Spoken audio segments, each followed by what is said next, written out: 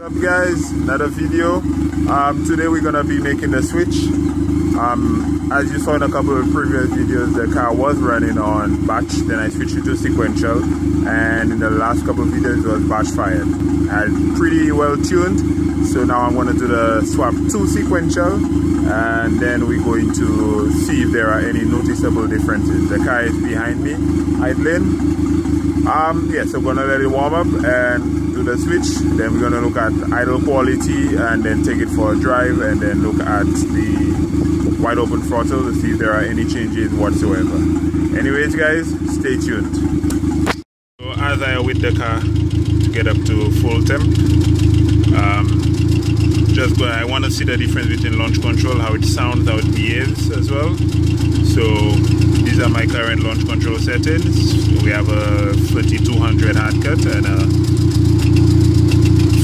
3000 rpm soft I'm going to put in well, absolute timing negative 15 degrees and we added 30% fuel on top of the map. So this is what it sounds like and this is how it behaves.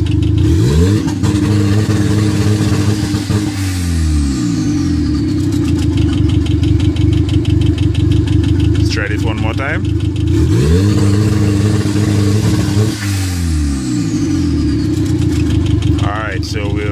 we'll any changes when I switch it over to the sequential injection.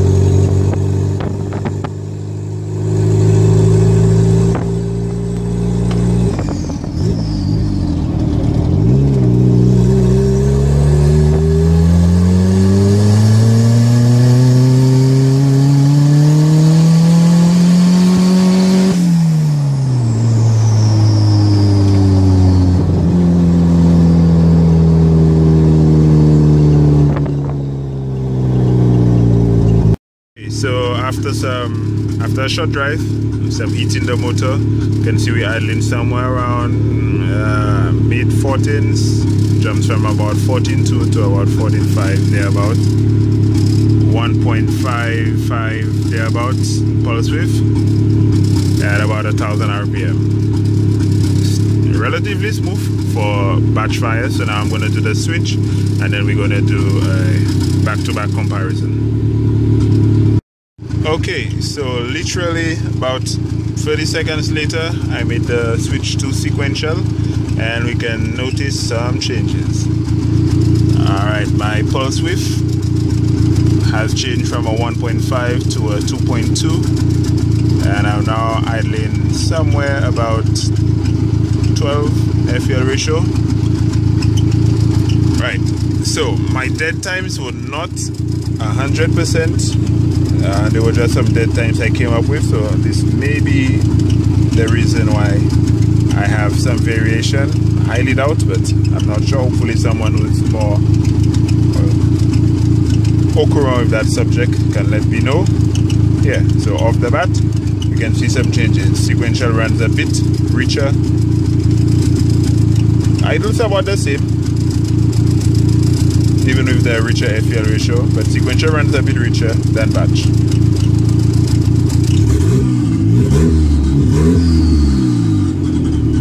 Alrighty, so I'll take it out for a quick drive with nothing else being changed and then I'll record the difference.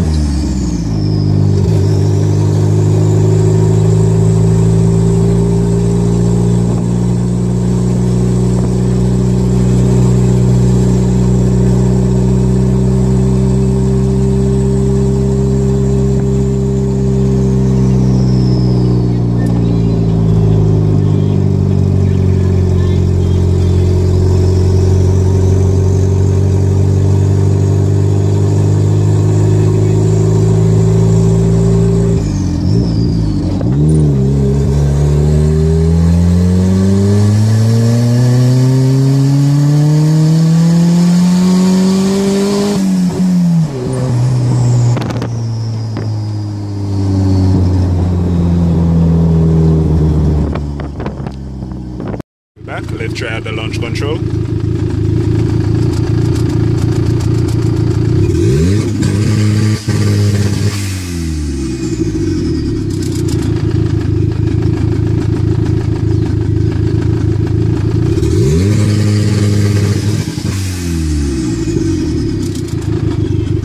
sounds a bit neater, but mm, for the most part, it still sounds just about the same to me.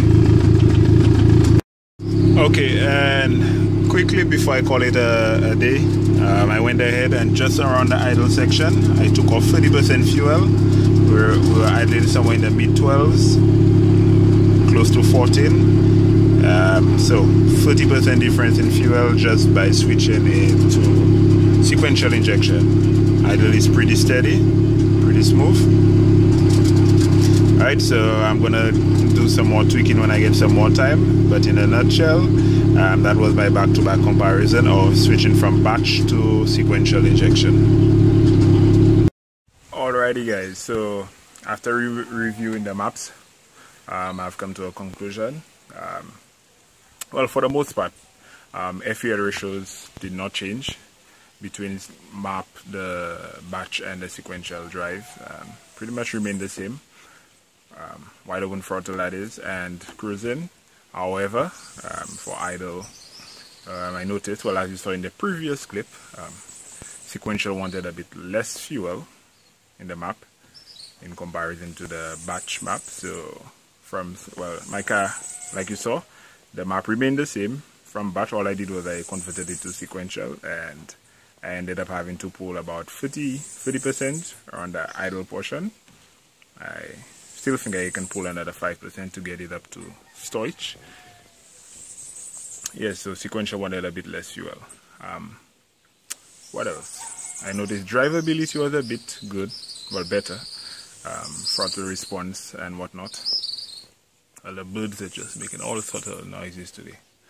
Anyways, yes, so for the, for the response was better I think um, I'll probably need to do some longer drives to come to a, con a better conclusion.